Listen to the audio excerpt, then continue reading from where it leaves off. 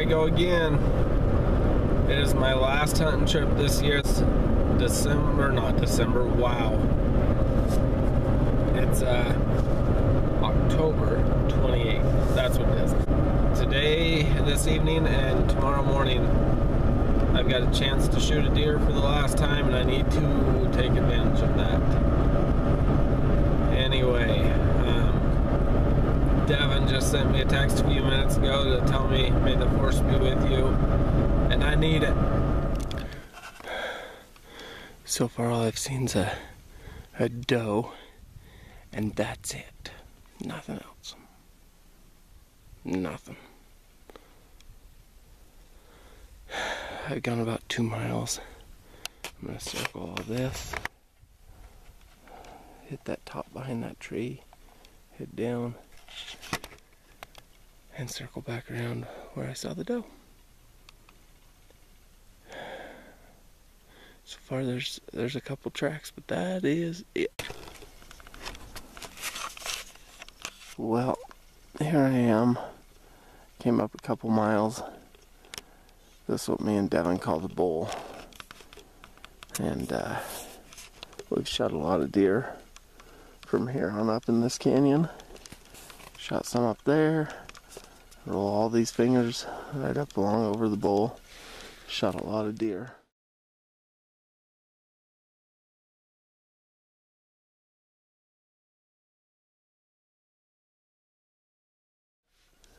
But tonight I see nothing.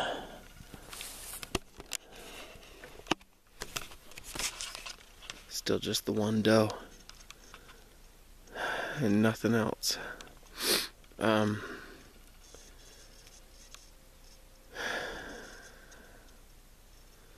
kind of stinks. I'm gonna hike back down this way. I hike down this ridge and over and back up to the pickup.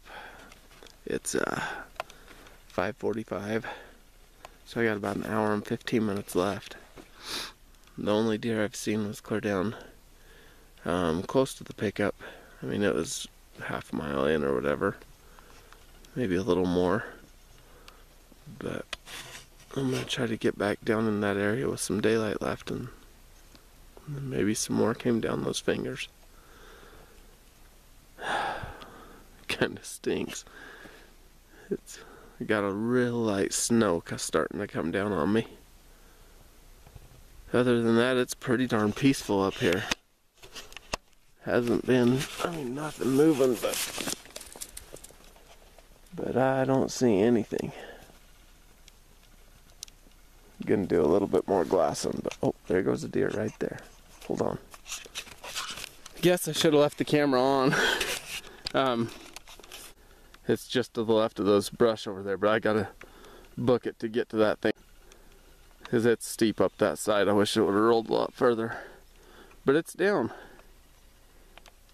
Um, we get over to it. It wasn't a very big buck, I don't think, but it was a buck.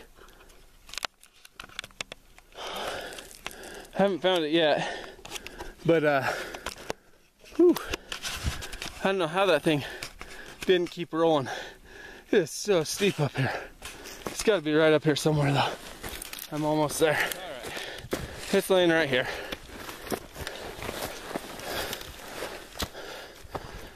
All right. You good, bud? Make sure it's dead first, which I'm about 100% sure. But yeah, laying right there in that bush. Nice little buck. Alrighty. Work to do. Yeah, he's done for. Um, glorified little forky horn. Yeah, this tree, if this bush, not tree, this brush wouldn't have stopped him, I think he would have gone all the way to the bottom, which would have saved me a lot of work. I was sitting right over there, just under that tree. So, uh, yeah, like I say, pack out's gonna be through that, but I got an hour till it gets dark. And in that hour, I got some work to do. All right, it's pretty much completely dark.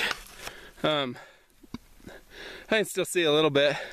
It'll be dark in this video, but I got it all deboned and I've came a couple hundred yards down that hill and uh, hopefully I can get to the trail down at the bottom before I got to turn my headlight on. Anyway, get your man card, I guess.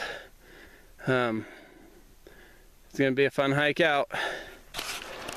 All right, this is kind of just in the dark video, but you can't even see. Quick, straight down. Stinky little trails what I get to walk on. Um, I made it back to the bottom. This trail avoids crossing the creek. I've already crossed it a couple times and had to wade a little bit deeper right now it usually is. Look how narrow that is. Whew, my legs are wobbly. Um, yeah, slide straight down. It's like 100 yards down there to, well, 50, 60, whatever. I don't know. But I'm tired. I'll tell you that much. And uh, I still got a mile left, at least. At least 50 minutes of walking. And it is um, 7.30, so it's been dark for about half an hour. And still uh, one uphill to go that's really darn steep. Had to stop and readjust my pack, get it riding better. And now it's just walking out with wobbly, tired legs. Alrighty, I'm uh, really tired. I'm on the hill climbing out and uh, whew, I just got a little bit left to get to the top. Well, I'm about halfway, but it's the easier half. I've already gone through the steep half, and so we're just climbing, climbing, climbing for about another 10 minutes, and it's all downhill from there. Well, my battery's almost dead on this camera. I don't know why, but but I'm back to the pickup. The back of the pickup with the pack in it right here. Um, and all the meat inside. We're gonna take it out and we're done. Thanks for coming. All right. It's late at night and I'm working night shift now, so I finished up processing the meat. Here's the ground meat. Still working on this pan and this pan. And uh, these other two pans are going to be jerky. There's the ground meat. Got some other stuff, but there it is. Alright, so here's the final results of that buck. We got his horns right here and right there, kind of kick out. Um, he's just a little three point. Uh, when we were remodeling the house, we put a double sink in, but this sink, we just put some plaster in and we put some elk burrs. We tried to do uh, real life plants, but most of them died. So we had to put a bunch of fake ones in when we were doing it. Anyway, that's where that buck ended up. Thanks for watching.